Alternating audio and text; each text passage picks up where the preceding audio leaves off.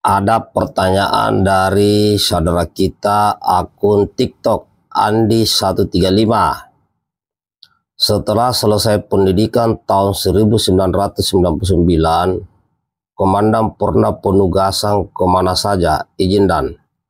Ah, baik kawan. Jadi saya masuk, ya saya ceritakan awalnya dulu bahwa oh, setelah lulus SMA tahun 1996, saya daftar Akmil. Ya, langsung masuk ya. Setelah jadi pendidikan di Akmil, lulus mulai pendidikan 1996. Ya, sampai 1999. Nah, setelah itu oh, saya di ya di Taruna saya pernah menjabat sebagai oh, komandan Ruguh ya di Taruna. Kemudian naik menjadi komandan peleton di Taruna. Kemudian naik lagi menjadi komandan kompi waktu di Taruna. Kemudian naik lagi menjadi komandan batalion Korps ya batalion 3 Chandra di Muka waktu itu.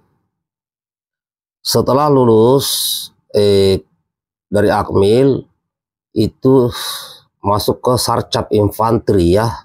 Sarcap Infanteri oh, selama kurang lebih 8 sampai 10 bulan di Cipatat.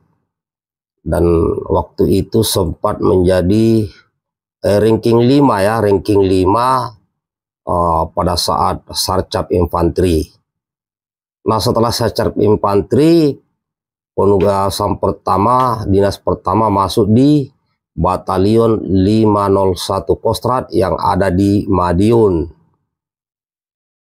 Nah, di Madiun itulah uh, kemudian uh, ya saya dianggap ada peristiwa di situ ya.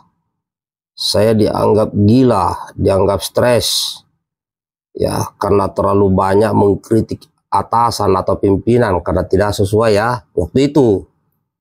Akhirnya saya dikarantina ya dikarantina di divisi E2 Kostrat yang ada di Bonjosari. Saya dikarantina di situ. Dan dibawa pengawasan langsung oleh Panglima Divisi, ya Pak Irun Sujono waktu itu. Nah dari situlah saya malah kebetulan pembukaan pelatihan inti reader.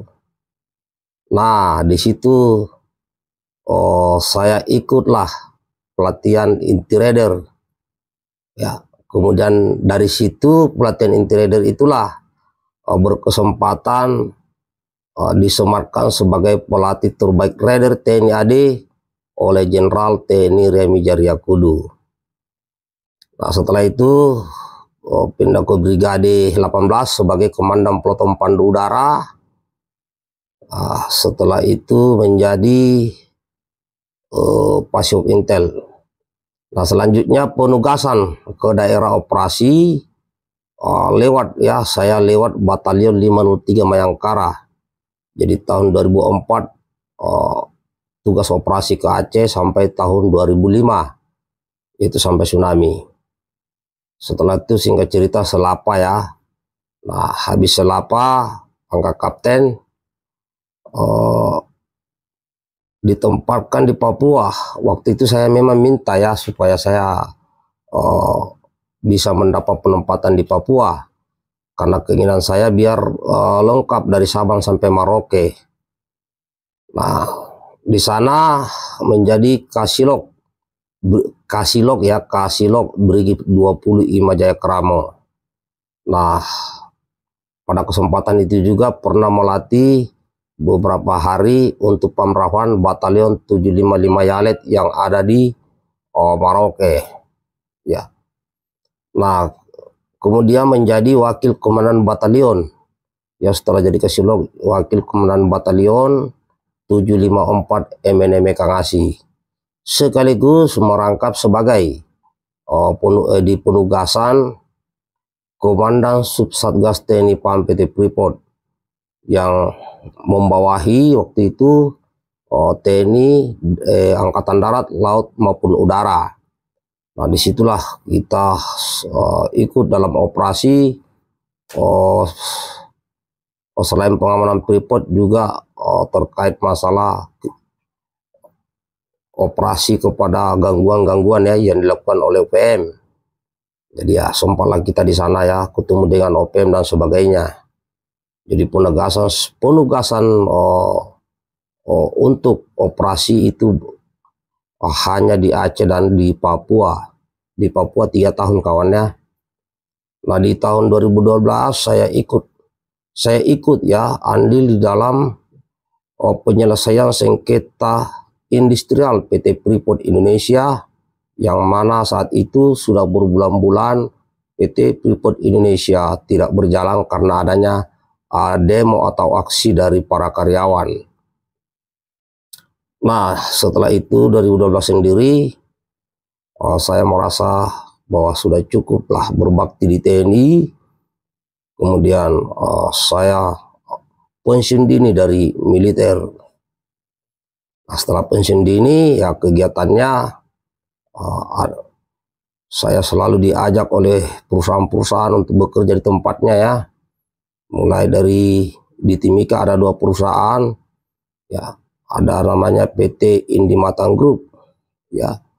Oh, hanya beberapa lama di situ nggak lama ya. Oh, Pak Haji Andi Tajrimin Nur di situ yang punya. Itu sudah seperti kakak saya sendiri. Kemudian ada juga PT Bintang Bintang Mimika ya. Oh, itu Bang Jepri saya di situ. Kemudian saya pamit oh, pindah ke Kalimantan ya ke Kalimantan uh, masuk ke PT Gunung Bara Utama karena di sana ada permasalahan. Setelah permasalahan yang dialami oleh PT Gunung Bara Utama selesai, kemudian saya minta pamit, kemudian uh, saya diminta lagi oleh PT Kerap Sayak ya, PT Kerap Sayak masih di Kalimantan juga ya. Uh, itu beberapa bulan di sana. Setelah sudah selesai masalahnya, uh, kemudian saya pamit, ya pamit tidak lama kemudian uh, melalui PT eh, DAP uh, PAM yang ada di Balikpapan itu bekerja di PT Kideko yang ada di eh, di Kalimantan Timur juga. Ya, hanya beberapa bulan kemudian saya pamit lagi. Ya, saya pamit keluar kemudian ke Jakarta. Nah, di Jakarta inilah saya membentuk yang namanya uh, komunitas pembela tanah air. Dan beberapa perusahaan-perusahaan uh, tetap ya uh, mengajak saya untuk bergabung ke mereka tetapi uh, saya menolak secara halus karena saya saat ini uh, saya fokus ikut di jajaran Pak Prabowo ya. Ikut di jajaran Pak Prabowo uh, melalui senior saya abang saya mentor saya yaitu Bapak Aris Marsudianto. Jadi setelah itu sampai hari ini oh, saya ikut Pak Prabowo. Ah, demikian kawan.